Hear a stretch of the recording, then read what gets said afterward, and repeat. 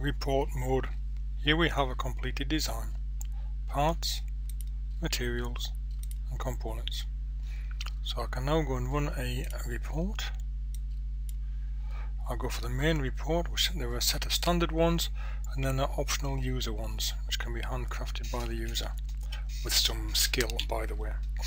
So main report, run this and it goes ahead and produces a report. And the report turns up in this HTML document. And there's our design from our logos panel. There's our material summary information leathers than synthetics there's a list of all parts.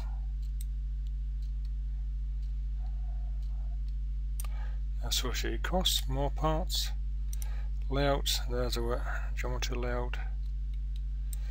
As pairs that's in it and the sizes and the costs. More layouts components